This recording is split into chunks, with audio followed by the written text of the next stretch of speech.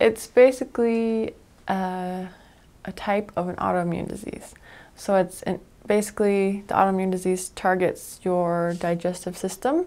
Can be anywhere from your mouth to your rectum, any parts. Most of the time, it's your intestines.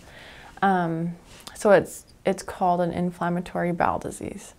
And so for me, the area that my body targets to cause the disease is my the junction between my small and large intestine. So basically what happens with the disease is um, it causes inflammation and because of the inflammation you have lots of symptoms like pain, cramping, diarrhea, weight loss, malnutrition. You don't absorb nutrients very well because of the inflammation in the in the intestinal wall, things like that. So eventually you can you usually are on lots of pretty harsh medications. Um, I had surgery to remove part of my intestines about 10 years ago. That can happen as well. It can get so severe that you have to basically have all your intestines removed and get put on a colostomy bag for the rest of your life. So it's it can be not fun, but I've learned recently some different ways to deal with it um, that does not include medic medication. So it's pretty exciting actually. From my research, it's been a while, but I do believe in like North America, the you know United States and those areas, it is more common than other areas of the world. I do not know the prevalence, um, and as far as what causes it, they're they're pretty unsure. They do think it can be hereditary. I'm not sure if I agree, but they they do think that.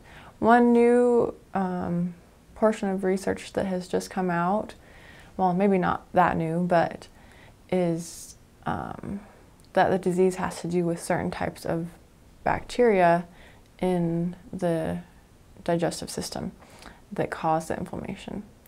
And so they have limited it down to two types that, if seen in your, um, when they take samples, they can, they can um, pretty much turn things around when they can get rid of those two types of pathogenic bacteria in your gut. So, so that is one cause they think it might be from bacteria.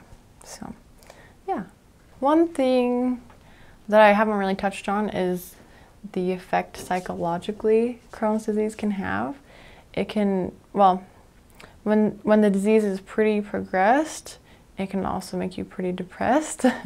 and that is due to the physical changes and physical imbalances due to Crohn's. So, because you're malnourished, you do not have those vitamins and nutrients, they're not being absorbed through your food, that affects your brain pretty, pretty intensely. So, during that time where things were pretty severe when I was 16, before my surgery, you're you're pretty sad all the time. You don't really, you're not very happy, and that's, you know, that's pretty common with malnutrition. And um, another another aspect of Crohn's that I haven't really talked about is exercise. Definitely helps. I need to do much better about that, but but just like with any disease, exercise helps. So that is another thing that I've seen has really helped me. When I am good about it, I feel a lot better but I guess that's with everything. So,